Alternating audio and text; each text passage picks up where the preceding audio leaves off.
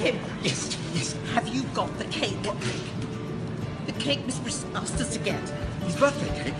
It's not his birthday, it's the refurbishment cake. The what cake? I can't say it again. The refurbishment cake of what? The centre, Tim. 30 years later. Yes. Wow, no, we haven't got the cake, but we've got on, let's go. Carol. What? Carol, what? Where are the kids? My kids are at work. No, no, the, the grandkids. Oh, th- they're in the boot. Two in the boot and one in the glove compartment. Yes, that's right. Marvellous.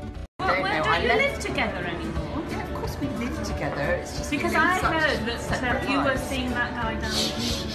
Oh right. Julie, because don't say it.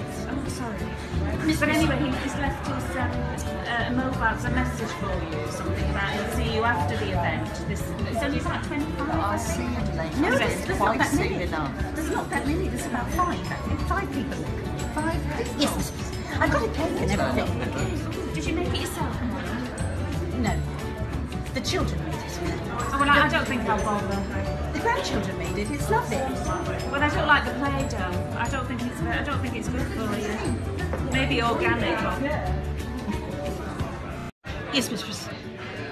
How are you doing, Carol? How, how's your career going? Obviously, it's nothing to do with technology, is it? No, Mr Brittas. Um, it, it, it's been going very well. Thank you, Mr Brittas. And what line? You wanted to be. A, you, you made this ridiculous suggestion. You wanted to be a writer, an author at one point, Yes, Mr Brittas. and I said leave the leave the author into the authors, Yes. and you get on keeping a nice, tidy reception. Have you done that? No, Mr Brittas. So what are you doing now? Working reception, Miss Dear, oh dear, oh dear. What on earth? I, I tried to teach you. I ho- hoped her career would develop, but you're still on reception. Yes, Mr Brittas. You need to work with me for another 20 years. Yes, Mr Brittas. Come on, let's have a meal. Yes.